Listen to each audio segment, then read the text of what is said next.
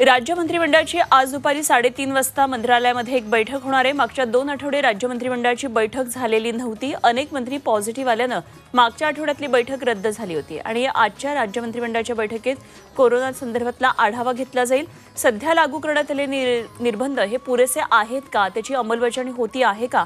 याचा आढावा घेतला जाणार आहे. भाजपचे केंद्रीय मंत्री नितीन गडकरी यांना कोरोनाचा संसर्ग झालाय. त्यांना सध्या सौम्य लक्षण आहेत. नितीन गडकरी यांनी स्वतःला आता होम क्वारंटाईन केलंय आणि त्यांनी आपल्या संपर्कात आलेल्या सर्व मंडळींना स्वतःची कोरोना चाचणी करून घेण्याचं आवाहन केलं आहे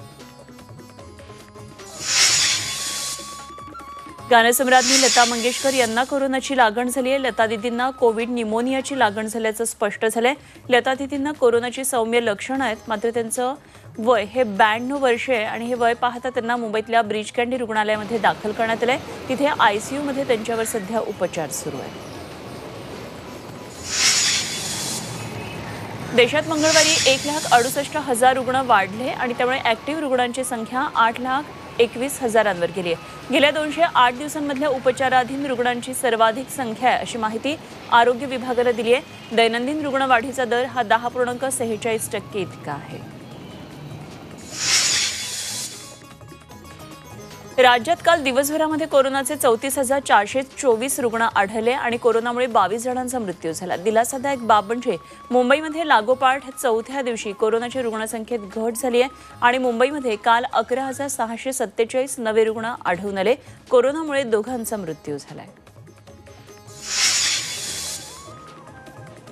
मुंबईत रुग्णसंख्या घटत असली तरी निर्बंध शिथिल करण्याबाबत घाईनं कुठलाही निर्णय घेतला जाणार नाही असं महापौर किशोरी पेडणेकर यांनी स्पष्ट केलंय.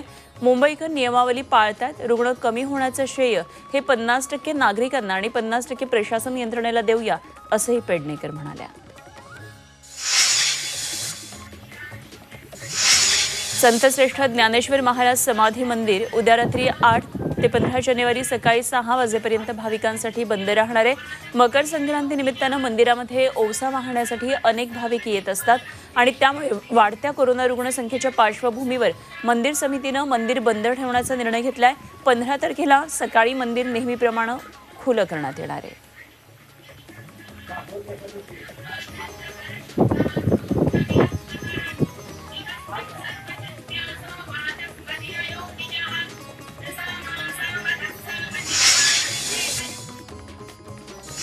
धक्कादायक बातमी आहे. सोलापूरमधून सोलापूरमध्ये ओमायक्रॉनचे आता दोन रुग्ण आढळलेत रुग्ण बरेही झाले तरी याबाबत मनपाला काहीच माहिती नसल्याचं समोर आलंय.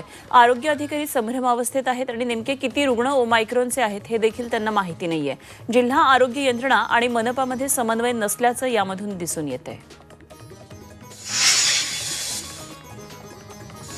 उस्मानाबाद जिल्ह्यातल्या नळदुर्गच्या श्री खंडोबाची महायात्रा रद्द करण्यात आली आहे. कोरोनामुळे यात्रा रद्द करण्याचा निर्णय घेण्यात आला आहे सोळा ते अठरा जानेवारी दरम्यान नळदुर्गमध्ये संचारबंदी लागू करण्यात आली आहे. दरम्यान प्रमुख मानकऱ्यांच्या उपस्थितीमध्ये प्रथेनुसार देवाचे धार्मिक विधी हे पार पडणार आहे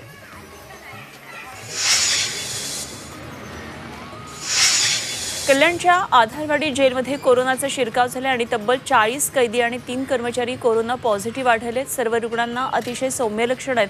त्यांची प्रकृतीही ठीक आहे. कोरोना झालेल्या कैद्यांना विलगीकरणामध्ये ठेवण्यात आल्याची माहिती कळते अभिनेत्री जान्हवी कपूर आणि तिची बहीण खुशी कपूर दोघी कोरोना मुक्त झाल्यात. मंगळवारी जान्हवीने तिच्या इंस्टाग्राम अकाउंटवरून ही माहिती दिली आहे. होम आयसोलेशनचे दिवस पाळल्यानंतर नुकतेच केलेली कोरोना चाचणी ही निगेटिव्ह आल्याचं तिनं सांगितलंय.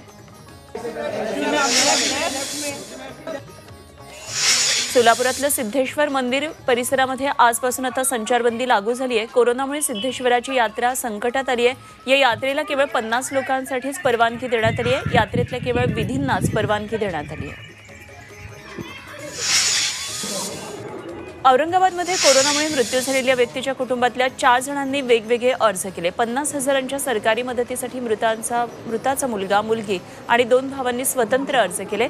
औरंगाबाद महापालिकेनं हद्दीत कोरोनानं एक हजार नऊशे ऐंशी मृत्यू झाले. मात्र मदतीसाठी तब्बल पाच हजार तीनशे चाळीस अर्ज आलेत. अर्जाच्या पडताळणीसाठी प्रशासनानं टीम तैनात केली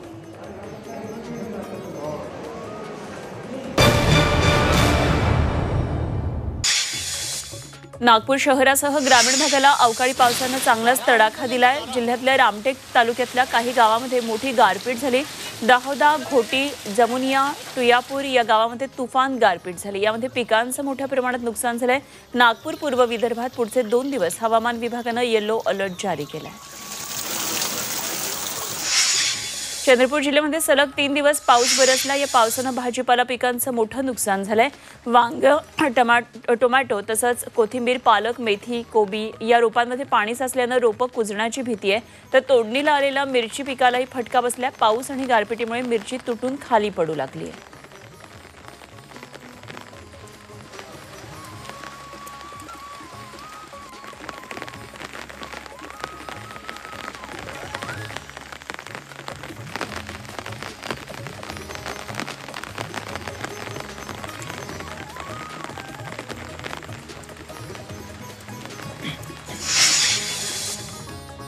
मुंबईसह राज्यात पुढचे काही दिवस थंडीचा कडाका वाढेल असा अंदाज हवामान खात्यानं वर्तवलाय. गडचिरोली यवतमाळ आणि चंद्रपूरमध्ये गारपिटीचा इशारा दिलाय. विदर्भासह मराठवाड्याच्या काही भागामध्ये एक ते दोन दिवस ढगाळ वातावरण असेल असा अंदाज कुलाबा वेधशाळेनं दिलाय.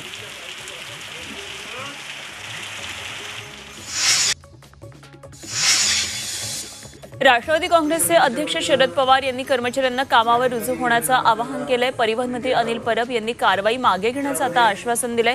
मात्र तरी देखील एसटीचे कर्मचारी कामावर परत येण्यास तयार नाहीयेत. मंगळवारी फक्त तीनशे छप्पन्न एसटी कर्मचारी कामावर रुजू झाले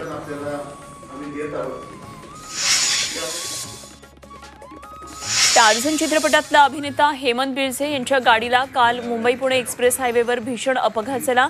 ओरसे गावाच्या हद्दीत अतिवेगानं जाताना त्यांच्या कारला हा भीषण अपघात झालाय. यामध्ये त्यांची पत्नी अमना आणि मुलगी रेश्मा जखमी झालेल्या आहेत. सध्या पवना हॉस्पिटलमध्ये त्यांच्यावर उपचार सुरू आहेत. सिन्नर तालुक्यातला कडवा कालवा एका शेतकऱ्यानं फोडला या कालव्यामधून पाणी सोडण्यात आलं होतं. मात्र शेतविहार भरण्या शेती आणि विहार भरण्यासाठी हिवर गावातल्या एका शेतकऱ्यानं चक्क कालवाच फोडला.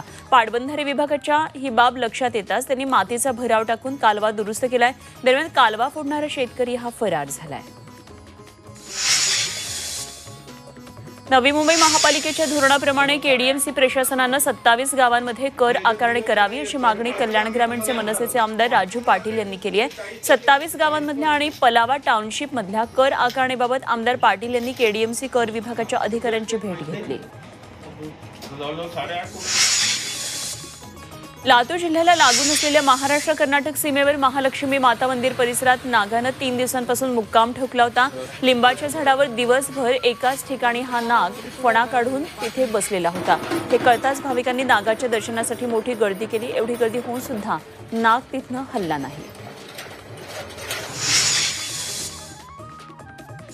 महाराष्ट्रातल्या तेरा हत्ती गुजरातच्या जामनगरमध्ये नेण्यास विरोध वाढतोय. गडचिरोली आणि चंद्रपूरच्या ताडोबा प्रकल्पातील हत्तींना रिलायन्स समूहाद्वारे संचलित दोनशे पन्नास एकरातल्या प्राणी संग्रहालयामध्ये पाठवलं जाणार आहे. केंद्राच्या प्रस्तावाला राज्य सरकारनं हिरवा कंदील दाखवलाय. मात्र सुविधा वाढवून हत्ती कॅम्प सुधारण्याची मागणी होती बुलढाणा जिल्ह्यातल्या सिंदखेड राजनगरीमध्ये दरवर्षीप्रमाणे जिजाऊ जन्मोत्सवाला सुरुवात झाली आहे. जन्मोत्सव पूर्वसंध्येला दरवर्षी अकरा जानेवारीला या ठिकाणी दीपोत्सव होत असतो. या दीपोत्सवाची दृश्य ड्रोन कॅमेऱ्यामध्ये चित्रित करण्यात आली आहेत. कोरोनामुळे यंदा निर्बंध लावण्यात आलेले आहेत आणि तरीसुद्धा जिजामातेला वंदन करण्यासाठी भाविक जमलेले आहेत.